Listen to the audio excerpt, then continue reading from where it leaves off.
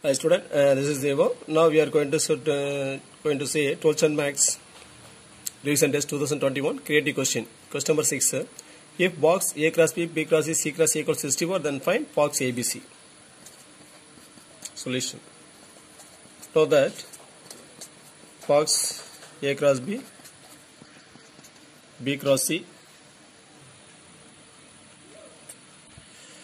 what is the C cross A equal to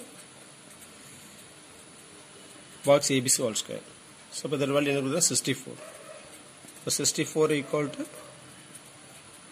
box ABC whole square so அப்படியே square எடுக்கலாமா taking square root on both இது get box ABC equal to plus or minus eight so அப்போ வந்து பார்த்தோன்னா என்ன கொடுத்துருக்காங்க